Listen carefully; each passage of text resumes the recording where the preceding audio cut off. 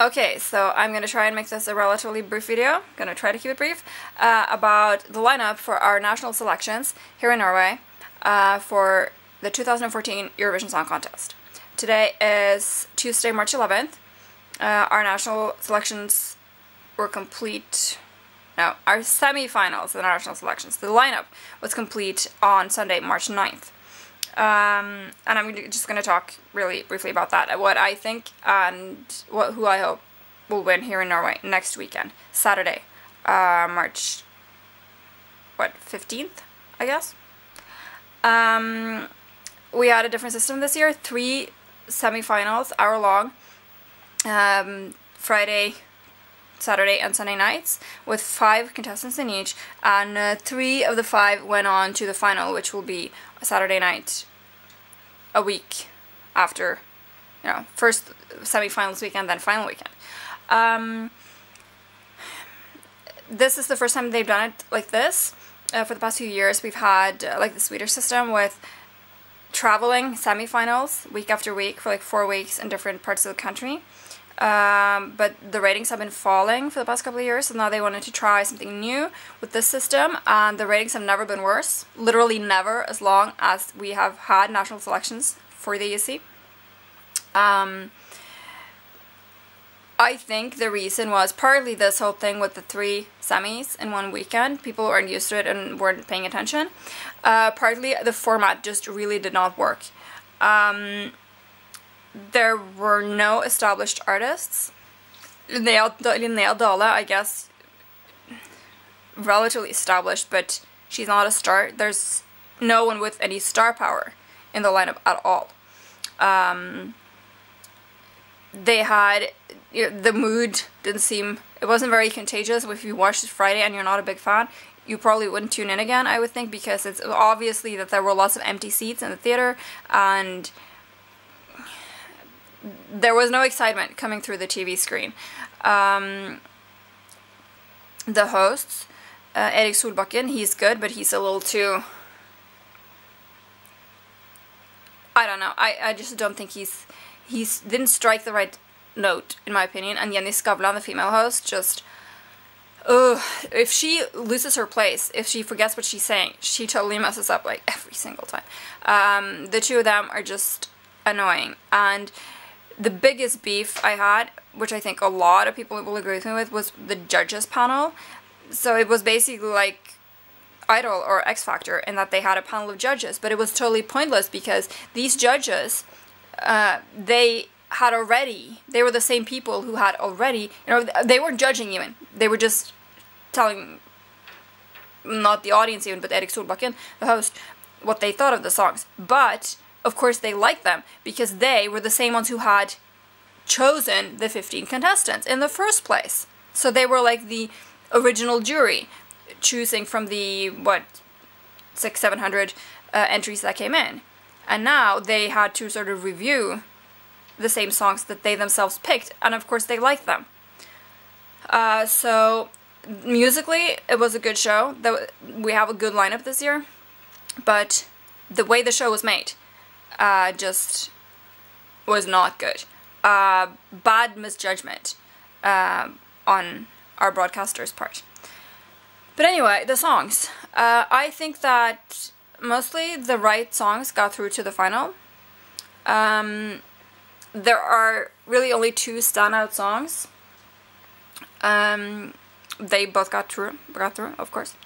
Um, I was a little disappointed to see that only English language songs went through. There were two uh, Norwegian language songs as well, and I do like people singing in the vernacular, but those did not get through. Um, I guess deservedly so, but still, it would have been nice to have at least one contestant singing in Norwegian in the Norwegian national selections final. um, I think that we absolutely have to choose either High Hopes from semi number one, performed by Linnea Dale. I don't remember who the songwriters are. Sorry. Um, I should look that up, but I haven't done so. Uh, we should send either High Hopes or the last song uh, and the winner of the third semi, Silent Storm, performed by Carl Espen something. Um, High Hopes was a really good entry. It was a beautiful song. Uh, she's a very professional performer, uh, and she did a really good job. She had a great outfit and looked very striking on stage, and I think that's the kind of performance that we can do well with. Uh, Silent Storm is a fantastic song, and he performed it with so much emotion. Uh, he has a gorgeous voice. Um, that's another that sort of genuine emotion appeals to a lot of the audience internationally. So those two songs are the ones that we're not going to win with either of them. Uh, because they're not what you might call catchy. Uh, I watched all of it. I could not hum these songs now, literally to save my life. And it's only been two days since this guy, what's his name, won with Silent Storm. Won his semi, got the most votes in his semi. So, catchy is not the word. Uh, but still, quality entries that, while they won't win, will allow us to hold our heads high uh, and hopefully we should be able to do pretty well. So far with this lineup, internationally, we should easily do very well because, sheesh. Um, I am worried though that we're not going to choose either of these songs. We're going to choose the entry called Heal, performed by uh, a young immigrant guy, Mo. Um, he was at Utøya, he survived the shooting, but his best friend was killed, so we should all feel sorry for him. And he's an immigrant, uh, he's from Somalia originally. Uh, so he has sort of those bleeding hearts interest boxes checked off. Uh, and I'm just gonna say the song, there's nothing wrong with the song, and he performs it pretty well. Uh, it's, it's standard issue. Eurovision pop. So there's nothing very special about it, but there's nothing wrong with it. But if we send him, I'm pretty sure we're gonna bomb. Uh, yeah, it's not a good idea to send a black person. I'm sorry to say that. Um, but that's reality. Uh, I was not upset at all when we sent um, uh, Haba Haba with Stella Mwangi, performed by Stella Mwangi. Uh, I think that's a great song. I still listen to it. Uh, and it was so cool to be the first country to perform in Swahili. uh, but I was totally unsurprised when we bombed. Um, there, there was really not much else that year that we could have sent that would have done much better. Um, unless maybe with the Disney ripoff uh, we could have managed, but it was not at all a bad song and it had a lot of personality, it stood out, but people in Eastern Europe are not going to vote for a black singer from Norway. Or if they are, then only a tiny fraction of them, and nowhere near enough to actually get anywhere.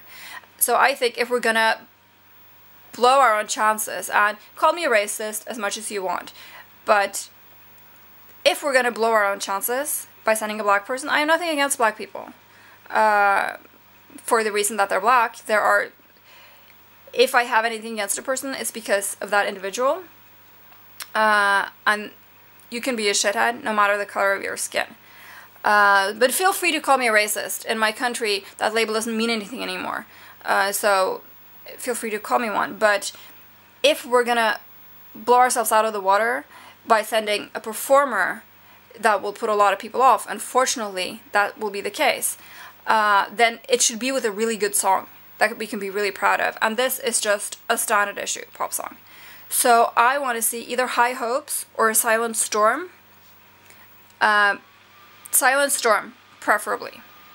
Because his performance was touching and I think it's going to be able to reach out to people and get us votes on that. Uh, but I would also not be displeased with um, what I think was the uh, runner-up in the third semi, El Cuero with their song, let's see, Ain't No Love in the City No More. Because that was a rock song performed by a rock band, and that would be really cool to send that. We wouldn't stand a chance with it, uh, but it would be cool just to send something like that that's a little out of the ordinary, uh, that we haven't really sent before. So, um, Silent Storm, ideally, High Hopes, my second choice, Ain't No Love in the City No More. Um, yeah we have several others that we don't have to be ashamed that all the songs this year are actually good enough that we will not have to be ashamed no matter who wins. I will say that. Um, there's no horrible singer, there's no ridiculous choreography or presentation, there's no really shitty songs. So this year, um, I'm really pleased with our lineup actually. They've managed to. The show itself wasn't good, but the lineup, certainly, um, we can't complain about. And you know, people saying, oh, there's no big name uh, in the lineup. Well, that is only NRK's problem when they're trying to get viewers in Norway. But nobody knows who anyone is in Norway anyway. When you get to Copenhagen, nobody's gonna know any of our supposed stars uh, who would be willing to take part in this. So, you know, it's not gonna matter in Copenhagen anyway. It's just mattered for ratings uh, in Norway. Um, I think we, I wouldn't be surprised if we end up sending this young guy Mo. Um, and if we do, I certainly won't be ashamed of him or of his song. Um, it's, there's nothing wrong with the song. It's a fine pop song. Uh, they'll fit right in. And that nobody will remember. And I think that he, as the performer, um, will ruin our chances with that song. Um, yeah. Uh, there's really not that much to choose from because there's no standout, no real standout. There are a couple that are obviously better than the others, but nothing like, there's no euphoria in this lineup. Um, but still, I'm happy with it. Fingers crossed for uh, Carl Espen, what's his name, and for Linnea Dale. Uh, in a week from now, we'll already have decided. So, good luck to everyone. I'm sure they'll put in great performances and it'll be a much better show than these three semis that we've had because frankly they were pretty dull and NRK will have to seriously rethink their concept for next year's concert be contest because uh, uh, the uh, Idol X Factor ripoff thing it really doesn't work. Good luck to uh, hopefully Carl Espen on Saturday, March 15th. Fingers crossed for a Silent Storm.